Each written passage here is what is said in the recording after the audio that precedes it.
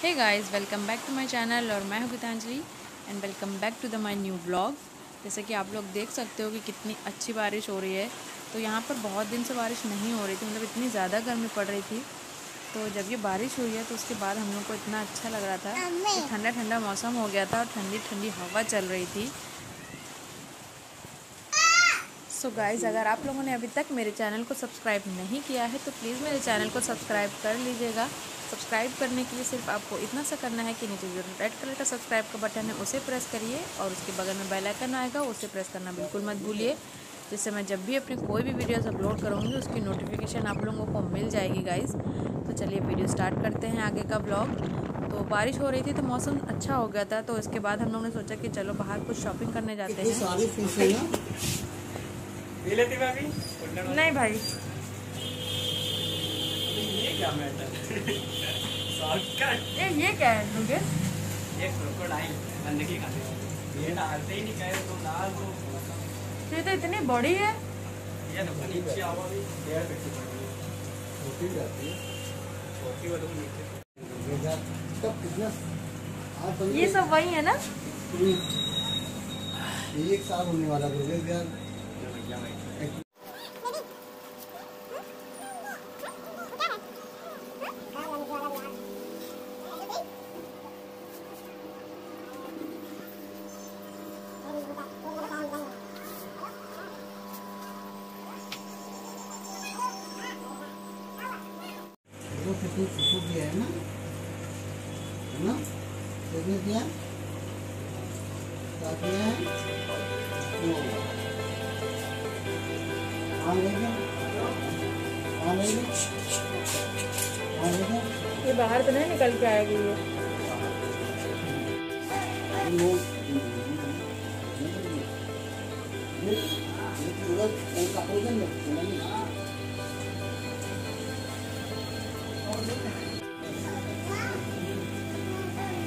रोकता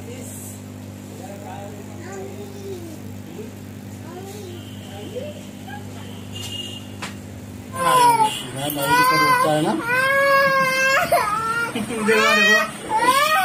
लो तो मम्मी तो मम्मी से बात करो बात करो मम्मी से बोलो मम्मी आ गई मम्मी आ आ गई मम्मी को वीडियो कॉलिंग कर लो पापा ने क्या करा ऐसे किया कैसे किया कैसे किया? कैसे किया फिर से बता ऐसे और लड्डू ने कल हेयर कटिंग करा ली थी, है ना लड्डू? कैसे कटाई थी? कैसे कटाए थे बाल? बता दो। कैसे बाल कटाए थे आपने? कैसे बाल कटाए थे? कैसे बाल कटाए थे?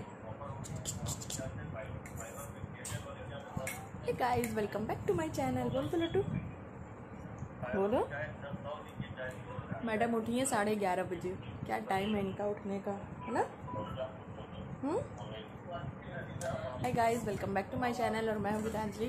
गाइस अगर आप लोगों ने अभी तक मेरे चैनल को सब्सक्राइब नहीं किया है तो प्लीज़ मेरे चैनल को सब्सक्राइब कर लीजिए। चैनल को सब्सक्राइब करने के लिए आपको सिर्फ़ इतना सा करना है कि जो नीचे रेड कलर का सब्सक्राइब का बटन है, उसे प्रेस करिए। उसके बगल में बेल आइकन बनकर आएगी, उसे प्रेस करना बिल्कुल मत भूलिए।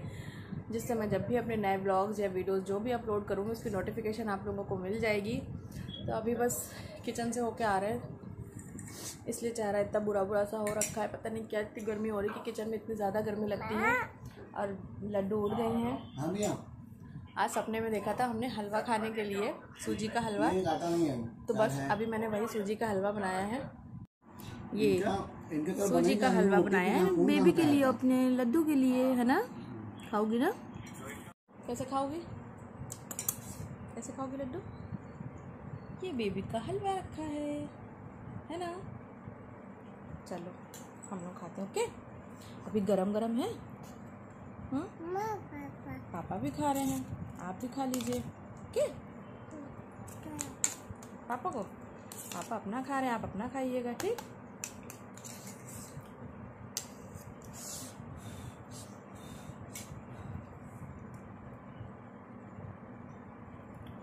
ओह, गरम है ना? नहीं, ठंडा तो हो गया है। है ना? ठंडा हो गया ना बेबी हेलो आपको हलवा अच्छा लगता है? हाँ। हाँ? पापा? पापा को अच्छा लगता है? नहीं हमने तो अपने बेबी के लिए हलवा बनाया अपने लड्डू के लिए हलवा बनाया है सोना चूना सा प्यारा प्यारा सा। ये!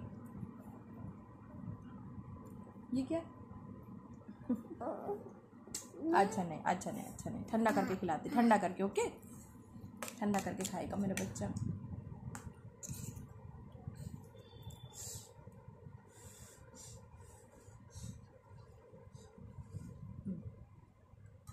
इसको भी पता है, कैमरे में देख के बहुत मज़ा आती है खाने पीने में। कैमरा अगर चला दो इसके लिए तो सब चीज़ खाती रहेगी, काम भी कर लेगी, जो भी कह दो। है ना लड्डू? बाल यार इतने ख़राब हो गए कि कुछ करने के लिए नहीं। वाह लड्डू बेबी मेरा, सोना बच्चा।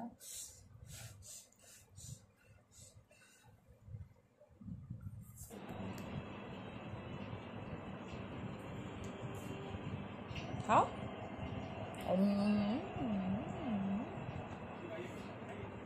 प्यारी सी स्माइल है ना बच्चे की।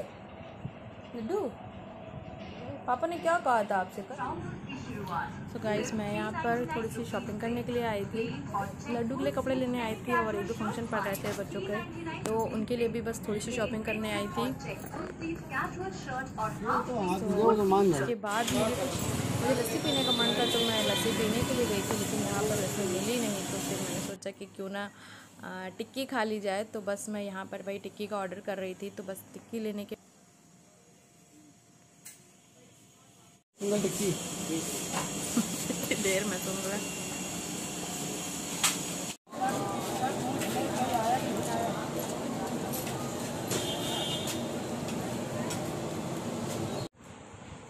वाओ।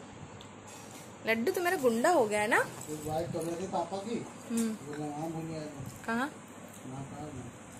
अच्छा। हम्म लड्डू मैगी। टेस्टी? किसने बना के खिलाई? बनाई? दीदी। दीदी ने बनाई? वाओ। अच्छा तुमको ये सब बहुत अच्छा लगता है ना लड्डू? मैगी फ्रूटी है ना लड्डू? हम्म? वो तो हमको पता है तुमको अच्छा लगता है। Wow Laddu wow.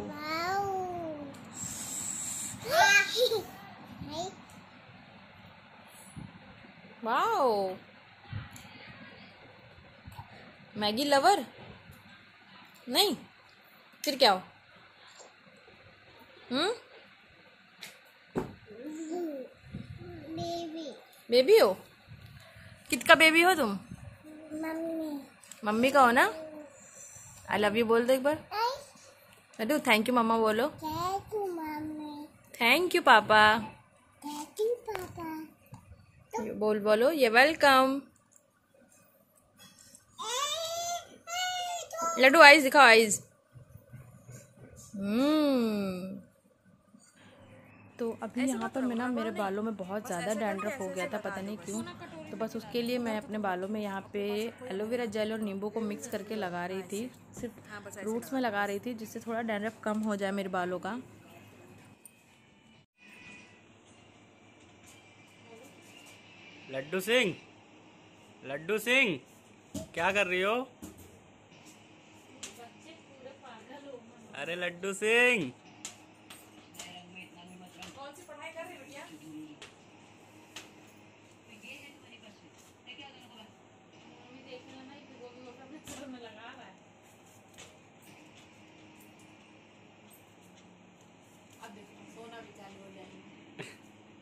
सो so गाइज़ अगर आप लोगों को मेरा आज का ब्लॉग पसंद आया हो तो प्लीज़ मेरे चैनल को लाइक शेयर सब्सक्राइब करना बिल्कुल. ज़्यादा से ज़्यादा शेयर कीजिएगा बड़ा आप लोग अपनी ब्लेसिंग्स मुझ पर ऐसे ही बनाए रखिएगा।